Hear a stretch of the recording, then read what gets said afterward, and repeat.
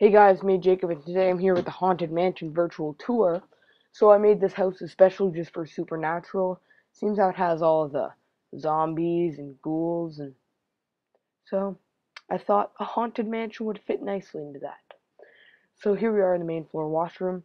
Now we're going to be heading over to the kitchen, where if you notice throughout this house, everything looks really outdated.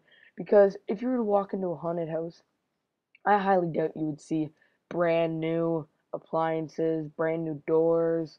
So I tried to make it more of a 60s feel kind of.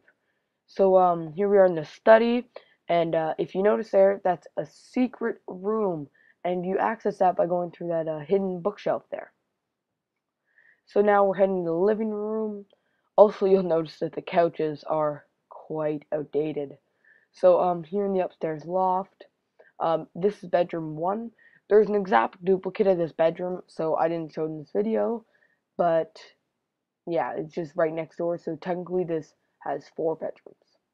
So here's bedroom number three.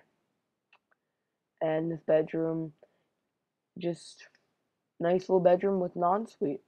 So now we're going to be heading over to the master bedroom, which is a fairly small room. It's mid-size with a huge bed, seating area, and then the master ensuite. You got the double sinks, you got a tub, you got a shower, you got everything you want in master suite.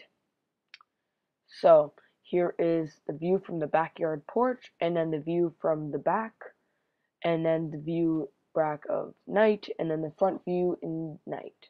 So guys, um, be sure to check out more videos on my channel, and that's it for today. See ya.